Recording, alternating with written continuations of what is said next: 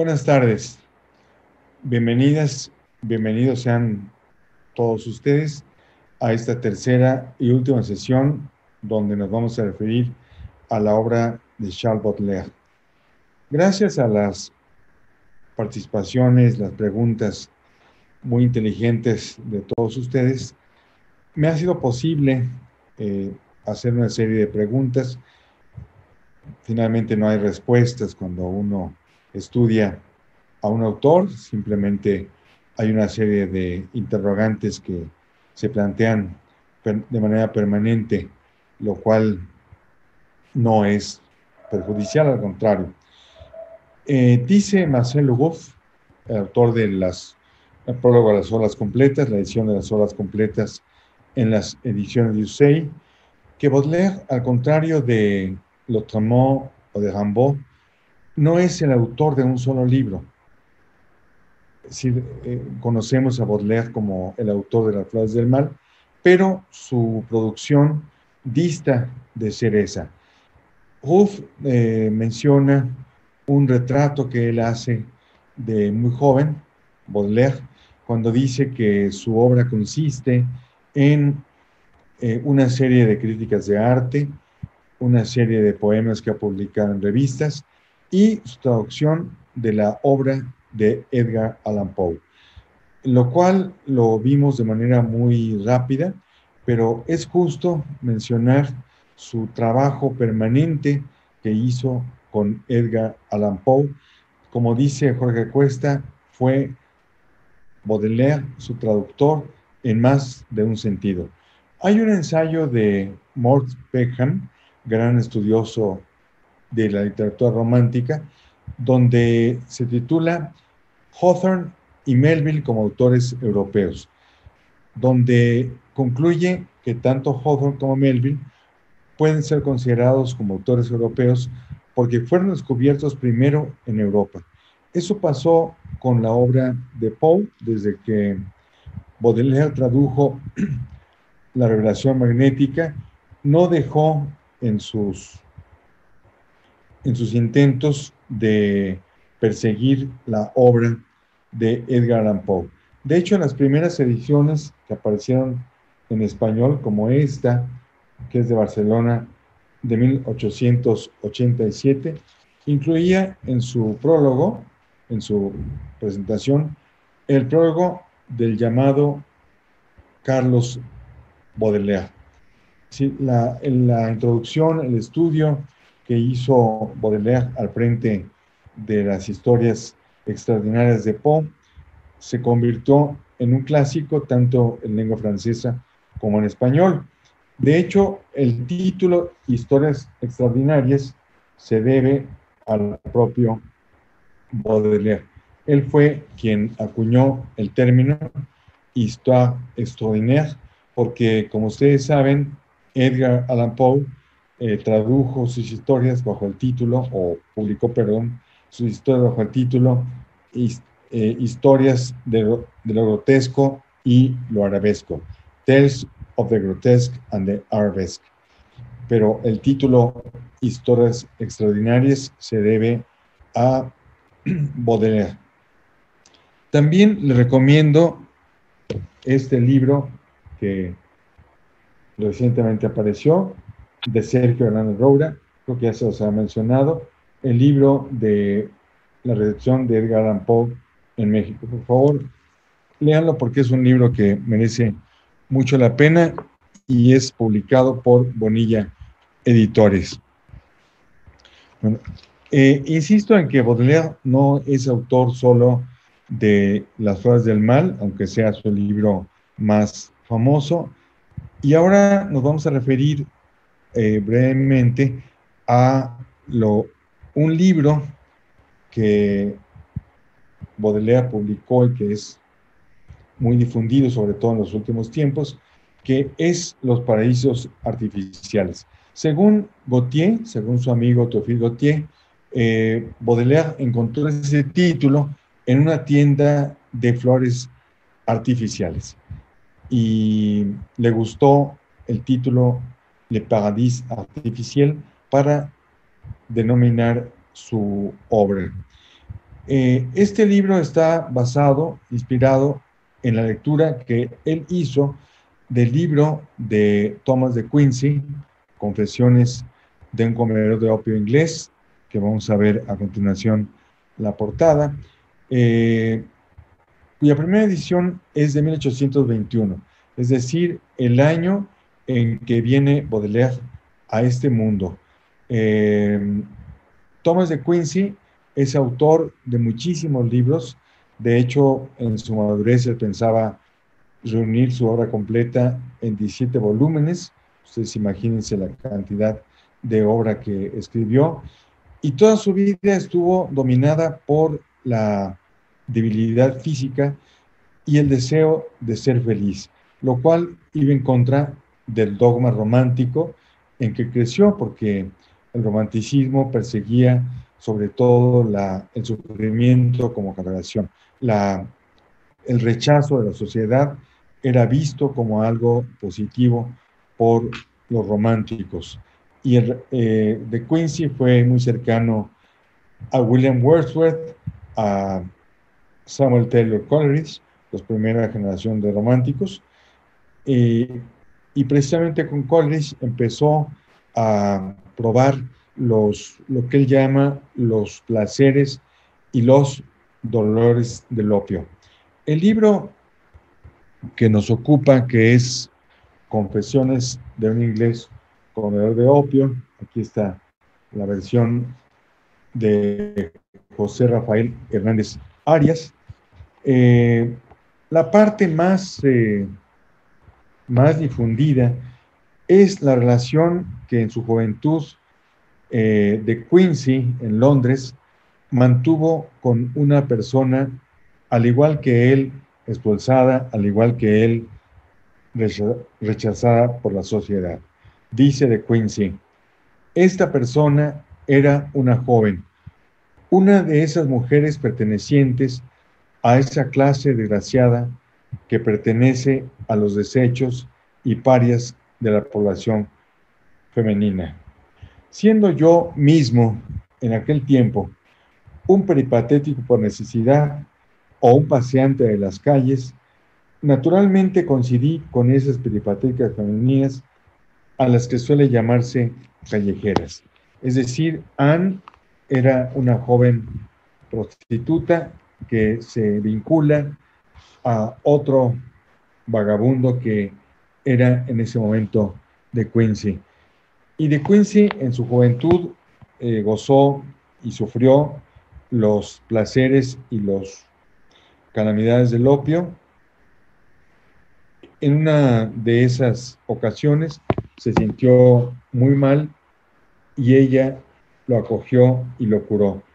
Eso es algo que él no puede olvidar y es quizá la parte más intensa, más eh, memorable de las memorias de Quincy en este libro. De Quincy es un autor, como les dije, de una gran prolijidad, no solamente escribió eh, las confesiones de un inglés comedor de opio, no solamente es autor de El asesinato considerado como una de las bellas artes, que ya desde el título es una provocación y una, el sentido del humor tan inglés aparece en este libro. Eh, Baudelaire escribe Los paraísos artificiales em, basado en el libro de Quincy, después de la lectura de Quincy. Sin embargo, em, él nunca publica un libro bajo ese título, eh, publica de manera independiente del vino y del hashish, donde habla de los efectos y de la historia del la compara al vino con el opio, diciendo que eh, condena el hashish y dice que el vino es para el pueblo que trabaja y que amerita la bebida. Después eh, procede a hablar, procede hablar del, del hashish como una excitación angelical Em, Y el opio se va a convertir en una medicina constante en Baudelaire. El opio eh, en, su derivado del láudano. El láudano es una bebida que se conseguía en las farmacias de manera eh, más o menos fácil y era un derivado del opio. O sea, el láudano era eh, una mezcla de vino blanco y de derivados de opio. Y era, se utilizaba para atacar a los dolores de los niños que eh, tenían dentición temprana o para curar los dolores de cabeza. Recuerden que Baudelaire sufrió toda su vida muchos dolores de cabeza, muchos ataques, entonces acudía constantemente a, la al láudano. Él probó por primera vez, si, si, si, creemos en la historia, el opio con Théophile Gautier en, eh, en su club que estaba en el Hotel Pimodá. O sea, en su primera juventud, él supo de lo que era eh, el, opio. Y, y, el libro está integrado por varias secciones, el gusto del infinito, en la definición del hashish, pero nunca es una defensa, sino una explicación muy objetiva de lo que es eh, estos aceleradores y acrecentadores de la energía, porque nunca él establece una diferencia entre la embriaguez que provoca el alcohol y la embriaguez que provoca el otro tipo de drogas.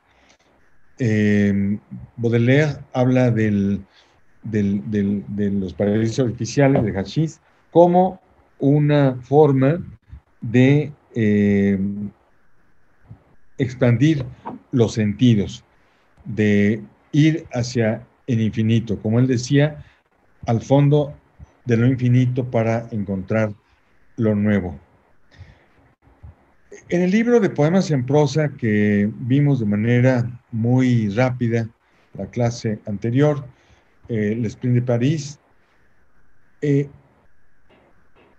de manera sistemática, en varias partes, habla de esta relación que existe entre la realidad y el deseo, es decir, entre la realidad sin la toma de ningún estimulante y la realidad amplificada por eh, la injerencia de estos elementos. Al ingerir estas drogas, el, individuo entra en un estado que lo hace olvidar el tiempo. El tiempo va a ser el enemigo constante de Baudelaire. Hay un poema en el libro de los, del Sprint de París que se titula La Cámara Doble, donde el poeta se encuentra en una cámara donde todo es, como dice en un poema de las flores del mal, lujo, calma y voluptuosidad.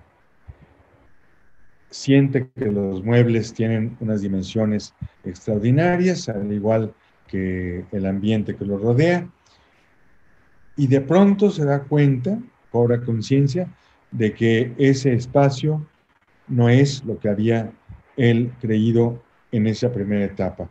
El tiempo ha regresado para cobrarle su cuenta. El tiempo ha regresado a ser el tirano de todos los días. Por eso Baudelaire defiende la embriaguez. Vamos a escuchar a continuación en voz de Julián Legagasson. Ya oímos este poema, pero quiero que lo escuchemos otra vez, el poema Embriagaos, porque explica muy bien lo que quiere decir Baudelaire. Un embriaguez puede ser del santo, del poeta o del ebrio. Precisamente por eso en eh, Las Flores del Mal explora el, el, vino, al explorar el vino, tiene un poema dedicado, El vino de los amantes, El vino de los asesinos. Hay toda una reflexión en torno a la ingestión de vino. Pero vamos a escuchar el poema en voz de Julián para detectar ciertos elementos. Hay que estar siempre ebrio. Todo está allí. Es la única cuestión. Para no sentir el horrible fardo del tiempo que rompe vuestros hombros y os inclina hacia la tierra, hay que embriagarse sin cesar. ¿Pero de qué? De vino, de poesía o de virtud, a vuestra guisa.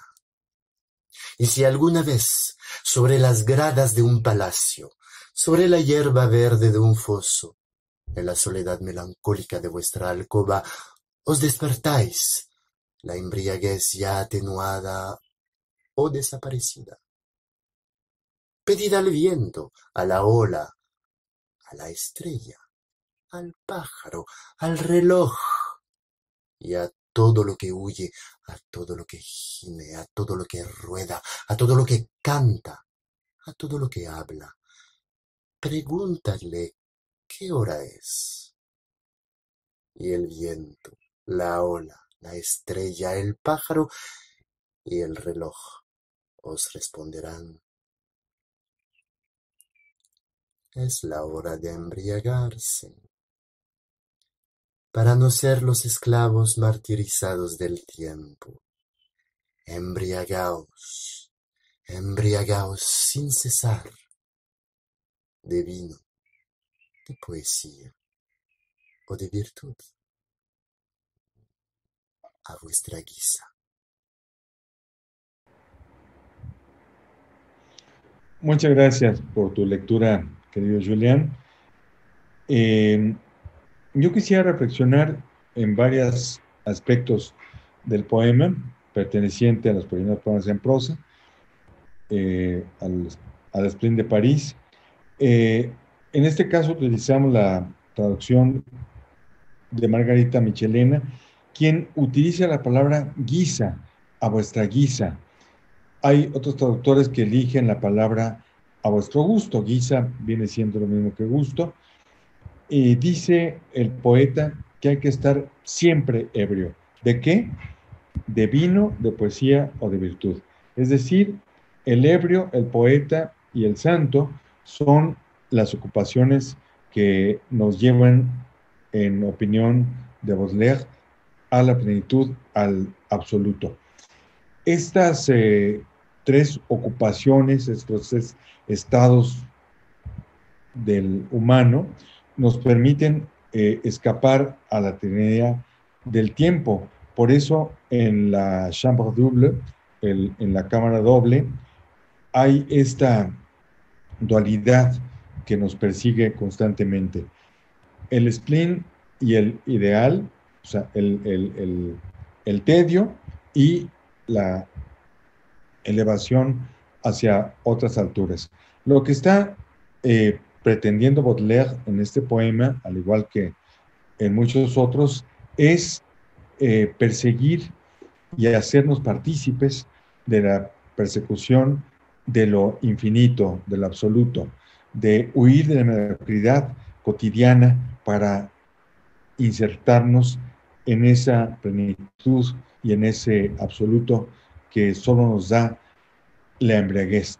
Por eso la embriaguez no se trata solo de un emotar los sentidos, sino de, bueno, de vivir de ellos, de escapar, pero a través de la embriaguez del vino, a través de la poesía o a través de la virtud.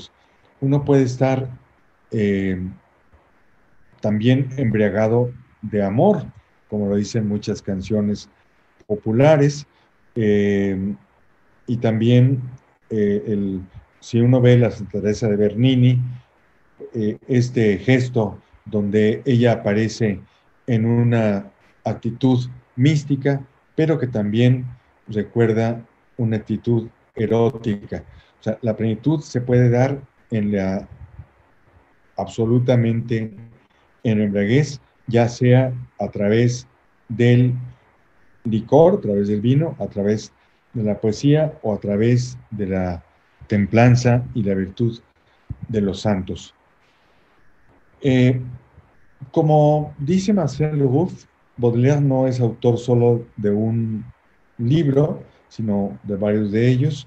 Y si queremos asomarnos al Baudelaire íntimo, pues basta leer Mi corazón al desnudo, Mon me anew, donde encontramos una serie de aforismos y de pensamientos que nos ayudan a entender lo que era este ser tan complejo y tan contradictorio que es Baudelaire.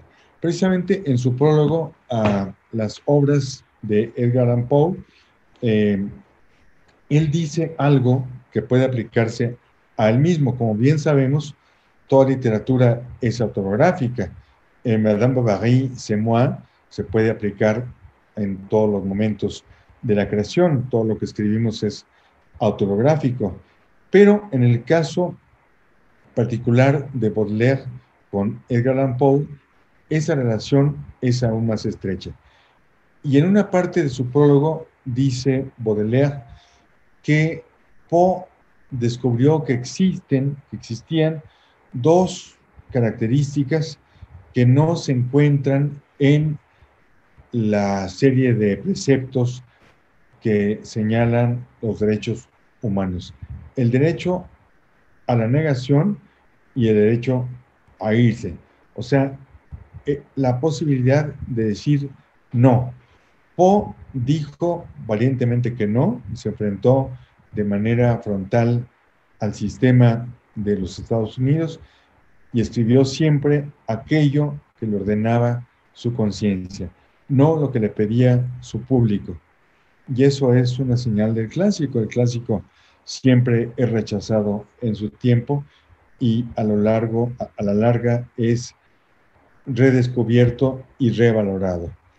Eh, en una parte de mi corazón al desnudo, Baudelaire dice que la oración que reza todas las noches es la invocación a su madre, a Edgar Allan Poe y a Marieta.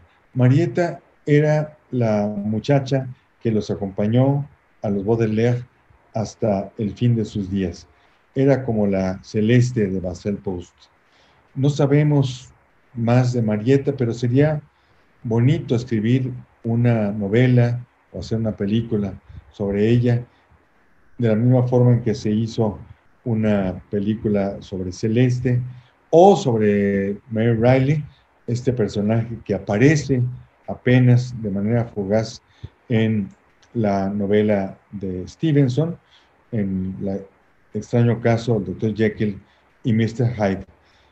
Si ustedes se, se ponen a reflexionar, los personajes que son menos notorios son aquellos que pueden ser mejor introducidos en la obra artística.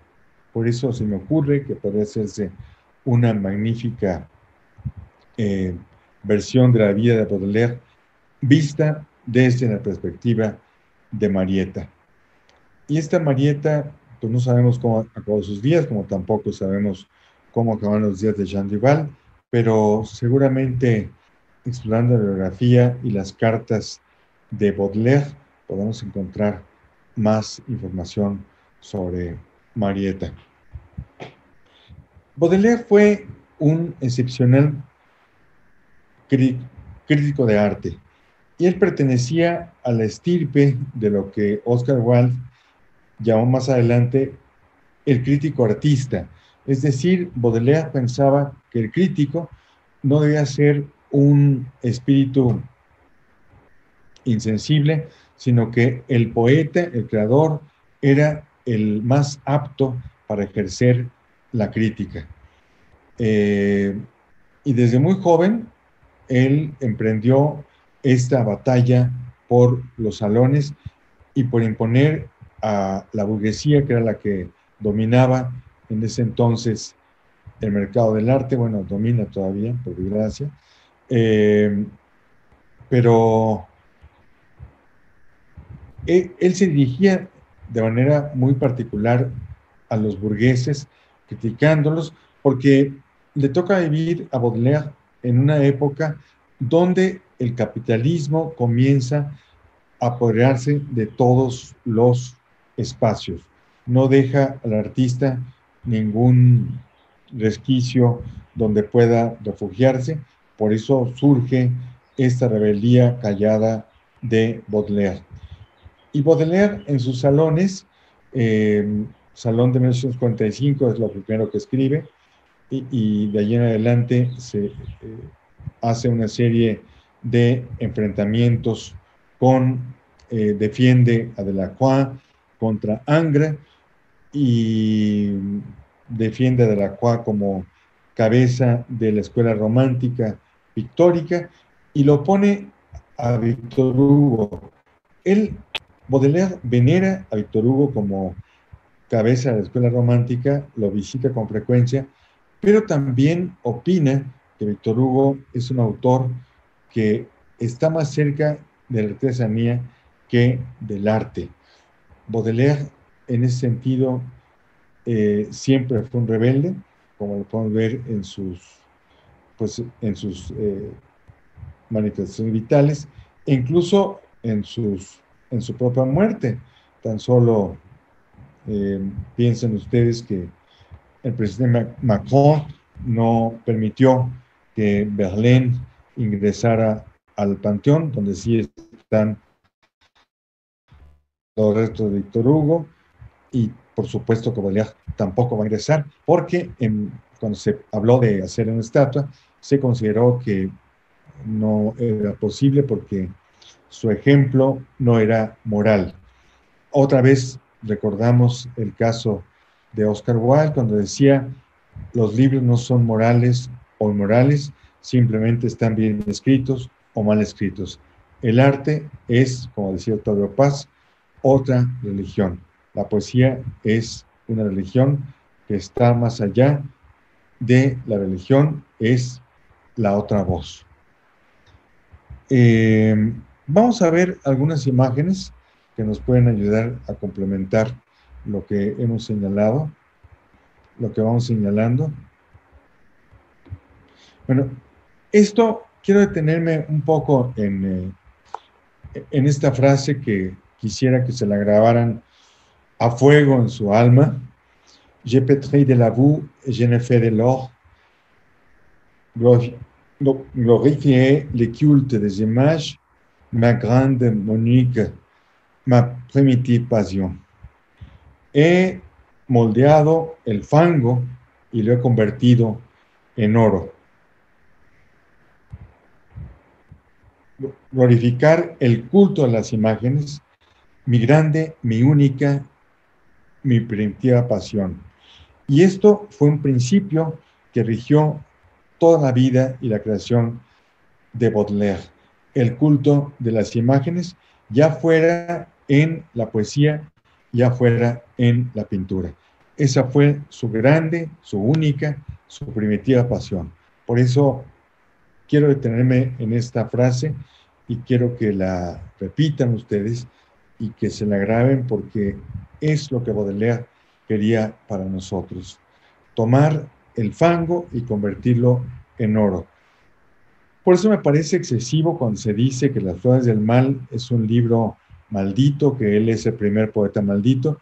Y como decía eh, su amigo Teofil Gautier, a quien están dedicadas Las Flores del Mal, eh, él escribió un año después de la muerte de Baudelaire, no, dos años, un año después, perdón, dice, este poeta que se ha hecho pasar por una naturaleza satánica, eh, encarnación del mal y la depravación, tenía el amor al bien y a la belleza en alto grado de, eh, en, su más alto grado. Eso lo dice eh, Teofil Gautier y lo creo. O sea, Baudelaire fue no un poeta maldito, sino alguien que buscó desesperadamente la, belleza. Era un misántropo, el misántropo eh, que odia a la humanidad, en el fondo lo hace porque la ama. Vamos a la siguiente imagen, por favor. Las siguientes imágenes que vamos a ver pertenecen al, al libro, a la edición de las flores del mal, que compartí con ustedes de manera muy rápida, y son ilustraciones de Pat Andrea, un pintor y escultor contemporáneo holandés que nació en 1942 en La Haya, en, los Países Bajos, y es hijo de la ilustradora Meti Nesser y del pintor que es Andrea. O sea, viene de una familia de artistas y él es el, eh, entre otras cosas, es el ilustrador de Alicia en el País de las Maravillas, que seguramente también está en los libros de Zorro Rojo y seguramente también nos va a costar un brazo comprarlo, pero vale mucho la pena y tenerlo. Eh, Pat Andrea es uno de los representantes más distinguidos de la llamada nueva subjetividad. Sus ilustraciones a del mal así lo demuestran. O sea, este libro reúne los poemas que fueron condenados o rechazados por la sociedad de su tiempo. Ustedes imagínense que las flores del mal iba a llamarse inicialmente las lesbianas.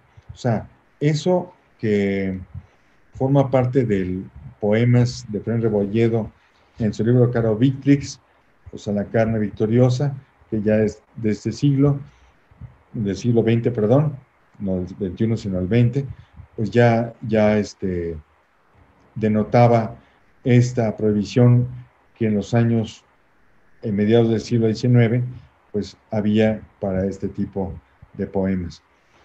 Aquí tenemos la portada del libro de Thomas de Quincy. La traducción de José Rafael Hernández Arias es muy buena, así como el prólogo. El prólogo es magnífico, donde nos habla de esta juventud que tuvo de Quincy Ahí vemos un retrato del joven. Insisto que perteneció a la primera generación romántica, pero combatió toda su vida por la felicidad. Él creía que la felicidad era una obligación del ser humano y no la tragedia a la cual lo impulsaba su sensibilidad romántica. En la siguiente imagen vamos a ver a De Quincy ya adulto en compañía de sus hijas. Y toda su vida, si ustedes lo ven, fue un hombre débil, fue un hombre de constitución endeble, que por eso acudió desde muy joven al opio para curarse de una serie de dolencias. Pero su libro también habla de el opio como los males que puede provocar. Bueno, este es un autorretrato de Baudelaire bajo los efectos del hachís. Eh, el hecho de que al fondo aparezca la Colón Vendôme significa que Baudelaire en ese entonces vivía con sus padres. Eh, cuando dejó el Hotel Pimbaudin, vivió un tiempo con sus padres en la Place Vendôme y después la abandonó. Pero este es un retrato muy famoso donde Baudelaire aparece bajo los efectos del hachís y además también eh, es una imagen del Baudelaire que recorría las calles del París del siglo XIX y que dio como resultado estos poemas en prosa que forman el Esplén de París. Vamos a la siguiente, por favor. Bueno, esta cubierta, quiero detenerme en ella porque es una novela muy poco frecuentada de Hernán de la Roca, una novela publicada en los años 30 titulada Tijuana Inn, se, eh, precisamente porque se ubica en San Diego y en Tijuana, y es una novela de una muchacha que más conocida por Tijuana Inn, que pues emprende una carrera delictiva muy exitosa Eh, pero ahí podemos ver en la, en la imagen que también aparece el crucifijo y la serpiente. Hay una escena maravillosa en la novela donde el personaje, eh, perdón, podemos regresar a la imagen todavía, a la anterior, donde el personaje se enfrenta al opio. Y es una escena realmente poco frecuente en la novela mexicana. En la novela eh, de Fren Rebolledo, Salamandra, de Fren Rebolledo, hay una escena donde el personaje femenino dice, ¿usted qué hace? ¿Qué quisiera hacer? Yo quisiera, dice, fumar opio y no la vulgaridad de la marihuana. O sea, el opio se convirtió, sobre todo en, en esta época, en los años 20, los años 30, en una forma elegante de drogarse. Hay un libro de Ricardo Pérez Monfort que se titula eh, Goma, Polvo, que habla precisamente de esa relación que hay entre la droga y la sociedad. Pero en ese momento, estamos hablando de los años 20, los años 30, la droga no era un motivo de disolución social como lo es ahora. Vamos a la siguiente, por favor. Bueno, la siguiente es una cubierta, una portada del libro Mon Coeur Mien Nu, Mi corazón al desnudo. Hay una traducción al español de Rafael Alberti, donde aparece el Baudelaire íntimo, el Baudelaire que desnuda su alma y se ofrece plenamente. Como les mencioné, el libro está conformado por una serie de aforismos y de pensamientos que nos llevan a entender pues el drama personal que vivía Baudelaire. Un hombre que persiguió permanentemente la belleza y que persiguió la bondad, a pesar de que la fama de maldito se le haya hecho él mismo y su propio libro de poemas. Vamos al siguiente, por favor. Bueno, Aquí tenemos un autorretrato de Eugène Delacroix. O sea, Baudelaire fue un excelente crítico de arte, como les dije anteriormente. Eh, sus teorías sobre el color, Delacroix era su ídolo absoluto.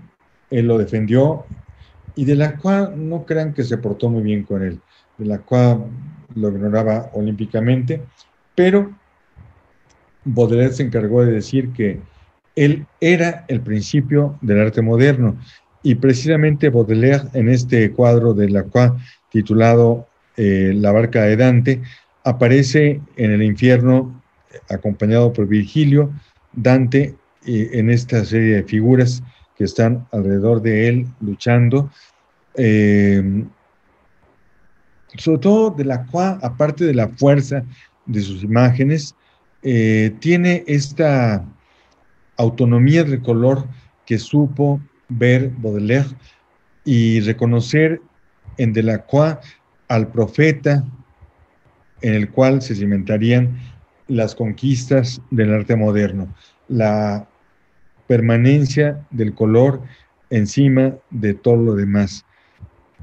Hay este cuadro de Delacroix titulado La libertad guiando al pueblo.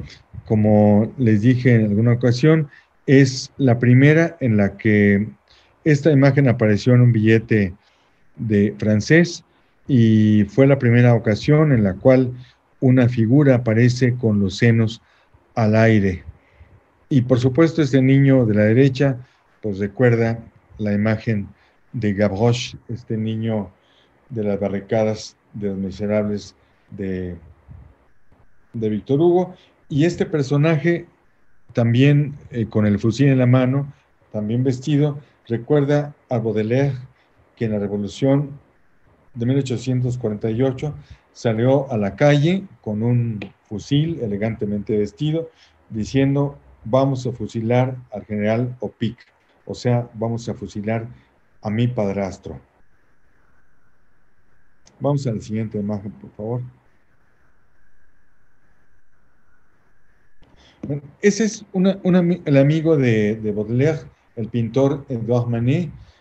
Hay una relación, una relación muy estrecha, histórica, entre el hombre de letras y el pintor.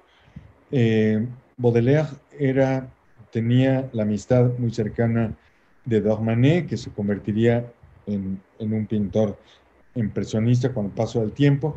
Y es muy interesante pensar en Baudelaire como el gran eh, adelantado al estudiar la teoría del color.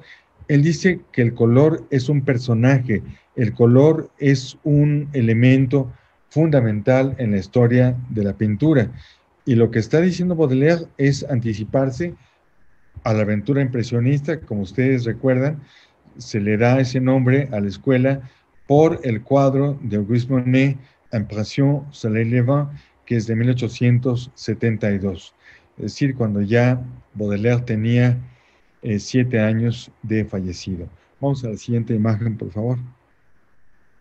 Este es un agua fuerte de el propio Manet, de Baudelaire, con sombrero de copa, y vamos a encontrarlo en la siguiente imagen, donde eh, la música en las tullerías, donde eh, Baudelaire aparece retratado aquí, precisamente aquí está, con sombrero de copa, es sugerido, no, no, no es un retrato, pero este es el París que Baudelaire amaba, aunque Baudelaire decía que extrañaba el viejo París y el París de los aguafuertes de Merrion, eh, le fascinaba la música en las tullerías, como se titula este cuadro de Manet, le, le fascinaban las multitudes, le fascinaban las mujeres elegantes, le fascinaban los trajes de los señores, o sea, le gustaban las multitudes.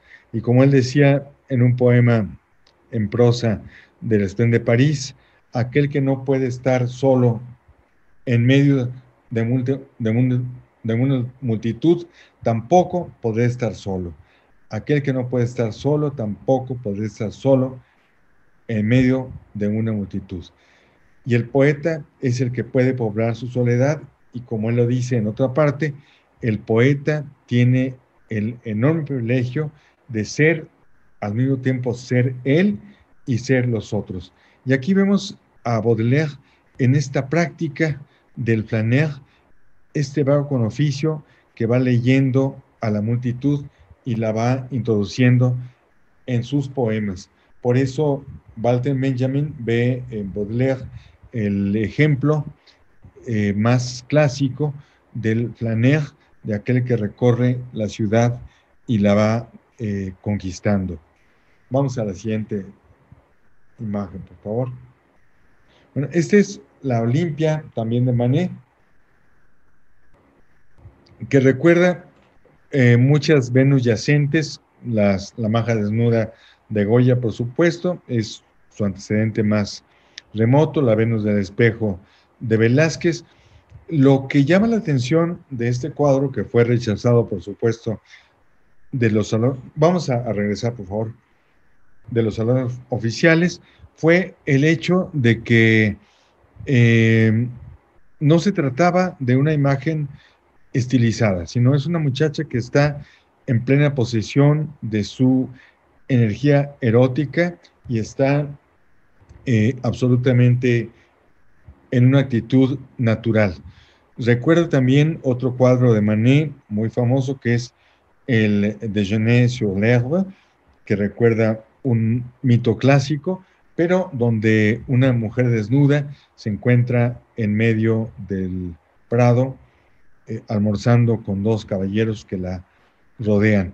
Y en este caso, esta muchacha que está ofreciéndole un ramo de flores y el gato negro, que por supuesto recuerdan la fascinación que tuvieron por Edgar Allan Poe y que seguramente eh, Baudelaire transmitió a su amigo Manet. Vamos a la siguiente, por favor. Vamos a, ver esta imagen rápidamente. podemos pasar más rápido. Esta pertenece, esta portada, a los franceses pintados por ellos mismos. Vamos a detenernos un momento en esta imagen porque quiero compartir con ustedes este libro. Eh, este libro se titula, eh, el que vemos en la imagen, Los franceses pintados por ellos mismos, que es el modelo de libros que se hicieron en otras partes del mundo. Por ejemplo, este, que es Los mexicanos pintados por ellos mismos, donde eh, los principales escritores de la época alternan con el litógrafo Ezequiel Iriarte, quien hizo las imágenes. Eh, era frecuente para los escritores de costumbres hacer estos eh, retratos de la sociedad, estos retratos de costumbres, y incorporarlos a libros que después se vendían por entregas. Vamos a, la siguiente a las siguientes imágenes, por favor. Bueno, allí quise eh, recordar las imágenes del poeta visto por Eugène de la Eh, lo, que, aparte de la expresión literaria, lo que importaba era las ilustraciones. Eh, Baudelaire dedicó algunas páginas a los caricaturistas franceses. Él admiraba muchísimo a Daumier, admiraba a Gavarni, admiraba a muchos artistas que ilustraron las páginas de estos libros. Como vemos, estas imágenes denotan, hablan del poeta. Eh, los mexicanos pintados por ellos mismos prefieren hablar del poetastro para distinguirlo de la imagen auténtica del poeta. El poetastro es esta figura que quiere vivir como un poeta, pero que en el fondo no lo es.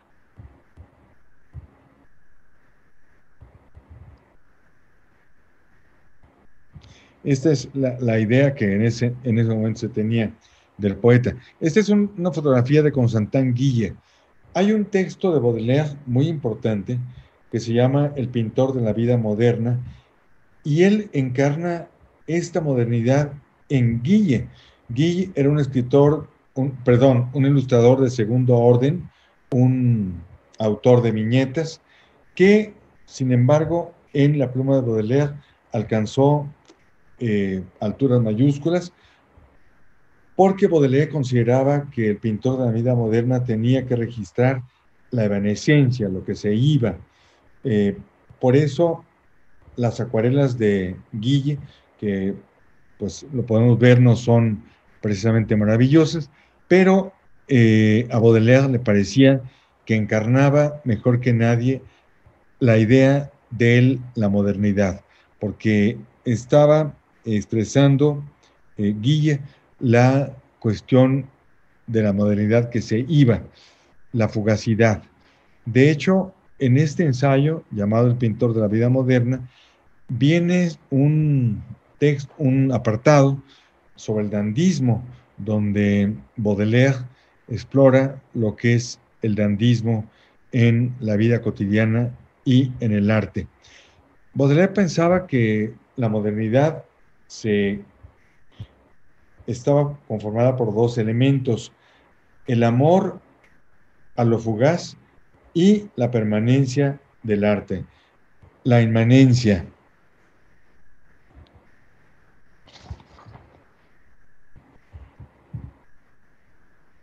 Para subrayar las palabras de Gautier, donde decía que Baudelaire era un autor que persiguió toda su vida la belleza, voy a leer un fragmento de su himno a la belleza, donde Baudelaire escribió, de Satán o de Dios, ¿qué importa? Ángel o sirena, ¿qué importa? Si haces hada con ojos de, de terciopelo, ritmo, perfume, esplendor, oh, mi única reina, menos odiosos menos odioso el universo, menos pesados los instantes.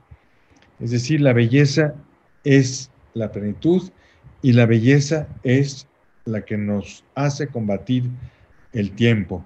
Por eso Baudelaire no fue solo el autor maldito, sino el maldito, como bien lo vio Ramón Gómez de Serna, es el ser orgulloso que está persiguiendo y queriendo ese orgullo para todos. Eh, déjenme buscar la cita. Él se refiere al jamón. Si quiere ya podemos salir de este. muchas gracias, Edgar. Dice Ramón Gómez de la Serna, refiriéndose a Lotromó. Dice, ese orgullo fiero y sostenido que en ti hay, es el que puede poner tregua y orden entre los hombres, que todos sean tan orgullosos como tú. Y eso evitará que tomen nada de lo, de lo de los otros. Eso los hará independientes en la vida, buscando el medio, sin rebajamiento y conspiración, de vivir de sí mismos y así en la posición humilde pero suya y bien preparada para ellos, podrán ser orgullosos. Las palabras anteriores pueden ser cuestionables para alguien que, como Baudelaire, siempre vivió más allá de sus posibilidades. Estuvo lleno de deudas como Balzac y acudió a su madre en busca de auxilio material y apoyo espiritual. Lo innegable es que el genio de su obra supera al dentro de su vida y por esa contradicción opuesta a la paradoja de Oscar Wilde, releemos y nos releemos en su obra vida. Uno de sus herederos, de los que ya hemos hablado, y ustedes han hablado mucho de él, Yanatio Rambaud, escribió apenas cinco años después de la muerte física de Baudelaire, la que la posteridad conoce como la carta del vidente, y donde dice que eh, exalta a Baudelaire y lo considera un verdadero Dios. Eh, en efecto, Baudelaire, como lo haría el fulgurante adolescente de Charleville, se atrevió a ir al fondo de lo desconocido para encontrar lo nuevo y ver lo que otros habían creído ver. Bueno, yo creo que con los comentarios, con las preguntas de todos ustedes, podemos redondear este tercer tema. Eh, doctor Girarte, Vicente querido, eh, muchísimas gracias. Eh, tenemos, sí, ya algunas preguntas. muchas felicitaciones y saludos desde diferentes lugares de la República, desde donde están disfrutando este curso o nos están acompañando a disfrutarlo todos. nos pregunta Gustavo Santana que desde tu punto de vista, ¿en qué escritores mexicanos de, dice, de su época, entiendo de tu época, contemporáneos tuyos, se puede apreciar alguna influencia de, de Baudelaire? Eh, quizá también podríamos abrir la pregunta, quizá a contemporáneos de la época de Baudelaire, tú que eres eh, especialista en, en, siglo XIX. Bueno, ¿cuándo, ¿cuándo llega Baudelaire a México? ¿Cuándo está preparada la sensibilidad para recibirlo, creo que a fines del siglo XIX. Y esto lo dice José Juan Tablada en su libro de memorias, cuando dice que la influencia de Baudelaire no fue aquilatada de manera suficiente. Lo que hizo su generación fue adoptar el mal de las Galias, así lo dice, y imitar lo superficial de Baudelaire sin ir hasta el fondo. Sin embargo, en sus memorias también dice Tablada cómo su generación supo entender lo que eran em, pues autores contemporáneos de Baudelaire que no fueron tan importantes en su tiempo, pero que con el paso de los años sí lo fueron para los que hicieron la revista moderna. Eh, la revista moderna publicó varios poemas de Baudelaire eh,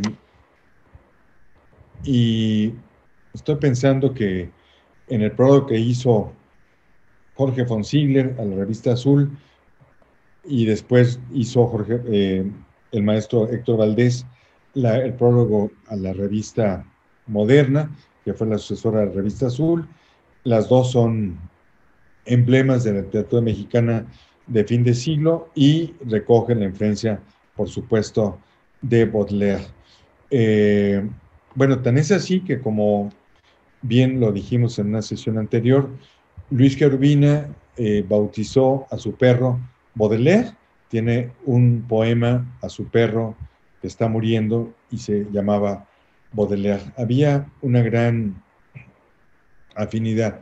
Ahora, la pregunta de qué poeta, qué poetas contemporáneos están influidos por Baudelaire, pues yo creo que todos, o sea, todos, todo artista que quiera eh, hacer algo en la vida, que quiera ver la escritura como un todo y ejercer la crítica como un arte más y no como obra de un charlatán que repite lo que los manuales le dicen, pues eh, todo artista en el fondo está influido por Baudelaire. Baudelaire nos enseñó a que la labor del crítico, la labor del artista que trata con las palabras, es ser poeta en todos los campos. Como dijo Baudelaire, y lo hemos dicho muchas veces, ser poeta incluso en la prosa. Y todo lo que tocaba en sus manos se convertía en poesía, fuera crítica de arte, fuera ensayos íntimos, fueran poemas en prosa. Todo, la obligación de un artista es tensar el lenguaje. Como decía Mallarmé, uno de los herederos de, de, Baudelaire, eh, lo decía con, esta, con este cinismo característico de él, entre el humo de su cigarro, decía, ¿a poco en verdad existe la prosa? O sea, él lo que quería decir es que en, cuando hay voluntad de estilo, existe una búsqueda poética del lenguaje. poeta no es solo el que escribe en verso, sino poeta es todo el que intenta la aventura total con las palabras. Eh, muchas gracias, eh, Vicente. Eh, Silvia Peláez, nuestra querida amiga Silvia Peláez, te agradece. Saludos, Silvia. Muchas gracias. A, a mi querido y admirado doctor Vicente Quirarte, así dice, y pregunta eh, con respecto a, lo que comentabas del tiempo, si existe alguna relación entre Baudelaire y los poetas metafísicos. Eh, bueno, esa es una, pregunta difícil en los poetas metafísicos. Eh, bueno, yo creo que sí, tiene que haberla. lo que pasa es que Baudelaire, él hablaba del tedio, que es la enfermedad del tiempo, de la enfermedad del siglo XIX y él la exalta mucho más. Los poetas metafísicos ingleses, como sea, encontraban esta, esta plenitud en, otra forma de búsqueda, pero Baudelaire la sufría enormemente en esta eh, búsqueda de los paraísos artificiales. Por eso la droga servía para expandir los sentidos y encontrar este combate al tiempo. Por eso habla de la cámara doble, eh, este espacio donde se refugia de la tiranía del tiempo, eh, que nos obliga a que exista un horario determinado y a buscar permanentemente el absoluto. Em, Mónica Zarco te, pregunta cómo eh, influyó en Debussy eh, Charles Baudelaire. ¿Cómo influyó en Debussy? No tengo idea. No tengo idea, digo, perdón por mi ignorancia, pero no sé cómo. Me, gusta que se llame Mónica Sarco, digo, parece. Eh, Sarco sí, Sarco, el mexicano Sarco, tuvo influencia de Baudelaire al mismo tiempo que, que, que, que, que Baudelaire escribía sus crónicas eh, sobre la ciudad, supongas en prosa, eh, Sarco escribía textos que no tienen nada que ver con el cuadro de costumbres. O sea, hay una relación. Ahora, eh, ¿qué, ¿qué, influencia hay de, de, Sarko en Debussy? Pues, por supuesto, perdón, de, de, de Baudelaire en Debussy, pues sí la hay, pero yo no sé, no sé porque no soy experto en música, entonces voy a decir puras tonterías. No sé, este, Mónica, no la puedo contestar. Aquí hay una pregunta eh, un poco más extensa de Adrián Linares Sánchez, eh, pero me parece interesante. Él te pregunta sobre el título que iba a recibir Las Flores del Mal, las lesbianas y su, su impacto en México. Él explica que dentro del contexto victoriano que se acrecienta conforme avanza el siglo XIX, el título de las lesbianas no solo escandalizó a la sociedad europea, sino también a la nacional. Eh, si mal no recuerda, dice Adrián Linares, eh, era tanto el tabú que incluso en la literatura mexicana eh, pocas veces se, puede observar la voz explícita de lesbianas aunque no por ello se hiciera referencia a la relación sexo-afectiva entre dos mujeres. Entonces te pregunta, ¿en qué obra literaria o periodística de México, si sabes, aparece por primera vez la voz eh, lesbiana o si, o si considerarías que ambas, safismo y lesbianismo, se alternaron indistintamente en las páginas finiseculares de nuestro país? Bueno, muchas gracias por la pregunta. Yo creo que más que pregunta es una manifestación de principios. Estoy de acuerdo con lo que señalas, muy, muy bien visto. Creo que la referencia más que recuerdo en este momento es en la novela de, perdón, en el libro de Fran Rebolledo, el libro de poemas Caro Victrix, que es de principios del siglo XX, donde aparece un poema eh, donde dos mujeres están haciendo una escena erótica. Ese, ese beso de sapo, se llama el, el, el, el poema, eh, refleja este enfrentamiento de dos cuerpos femeninos, aunque antes tal vez en ciertos poemas de Díaz Mirón aparece la idea de la figura eh, de una mujer con otra mujer, pero siempre se trata de escenas lejanas en el tiempo y en el espacio.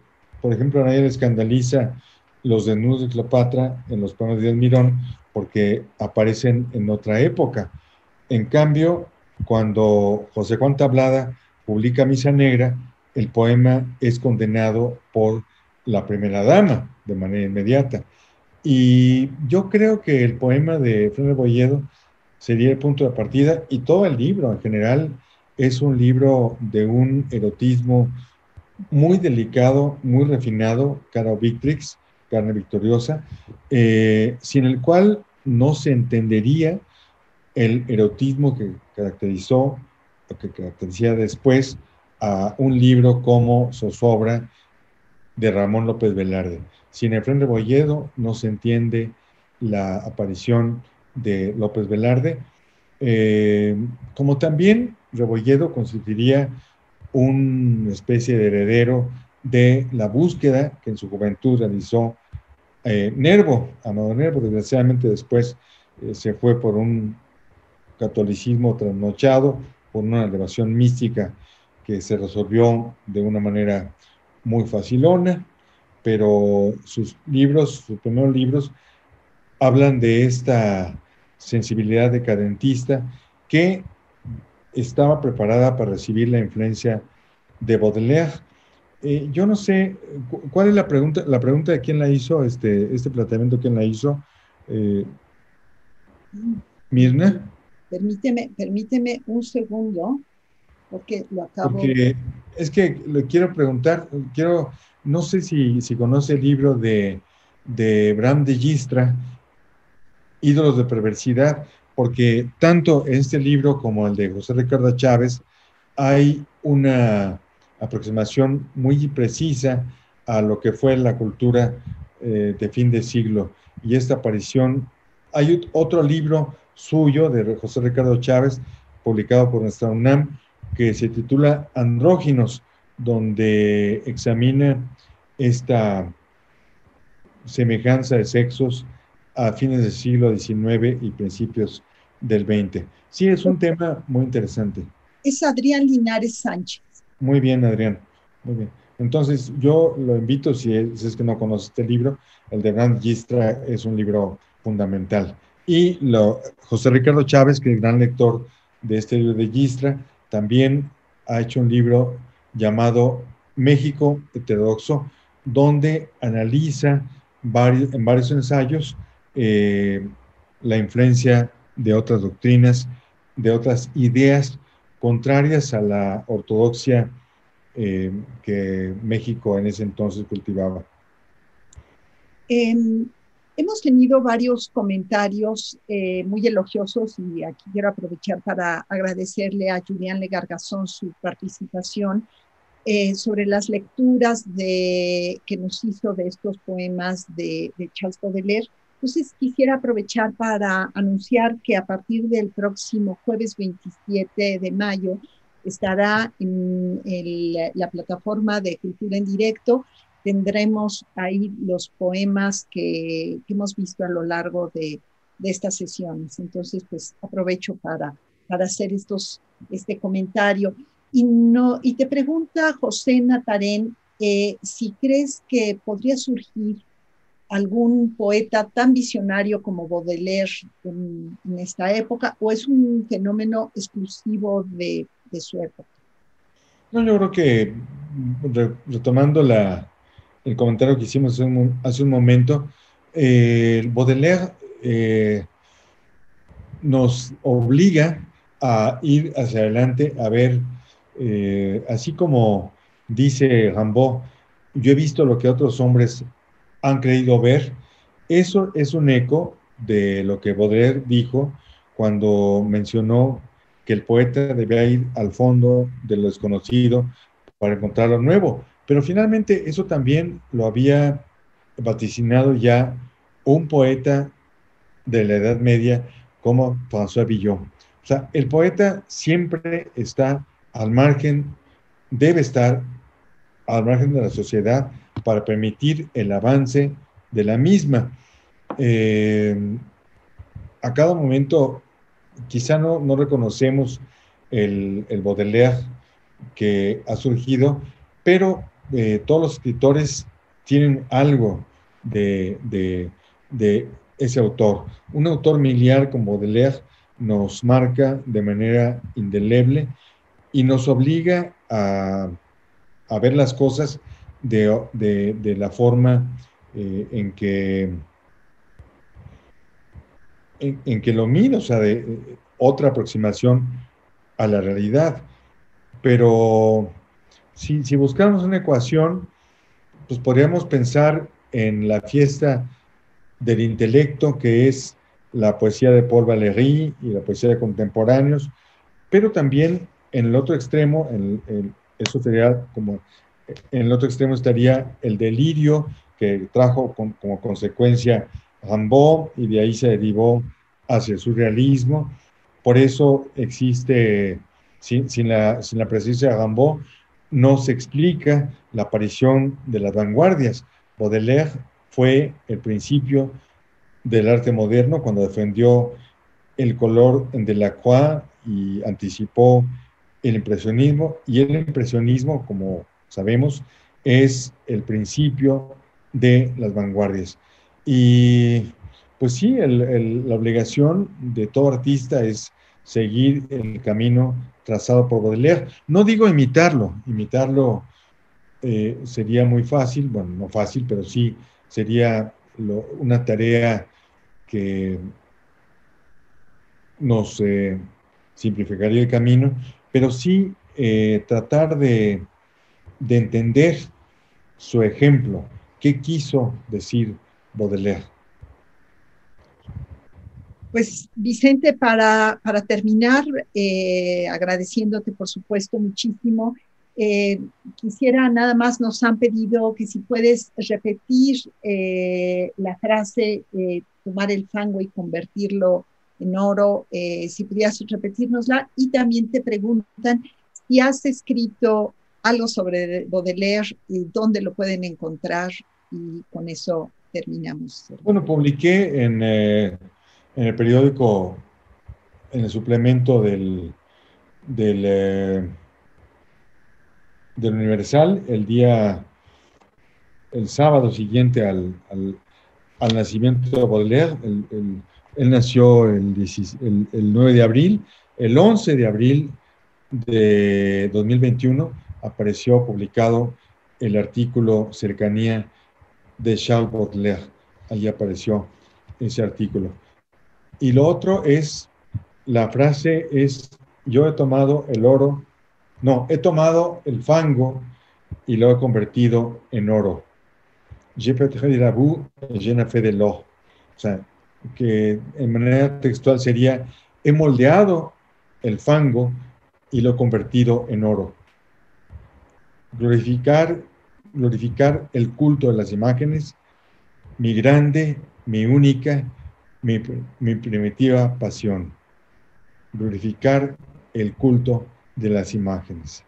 Mi grande, mi única, mi primitiva pasión.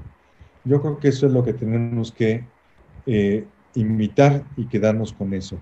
Tomar el fango y convertirlo en oro. Esa es la misión de todo artista. Pues Vicente Quirarte, muchísimas gracias por estas tres sesiones. Muchas gracias por habernos permitido acompañarte a, lo largo de, ellas. Le agradezco al público que, nos ha seguido. Por supuesto, agradezco mucho también a Julián Le Carcazón, sus lecturas, al equipo de grandes maestros y al equipo de Cultura en Directo que las ha hecho posibles, pero sobre todo a ti por, por habernos traído de vuelta a Baudelaire, a, a nuestros corazones, a nuestras lecturas, en fin. Muchas, muchas gracias. El agradecido soy yo, querida Mirna, a todos los que nos han seguido, a todo tu magnífico equipo. Muchas gracias por su ayuda, muchas gracias por, por, por su paciencia, sobre todo, y nos veremos muy pronto. Muchas gracias.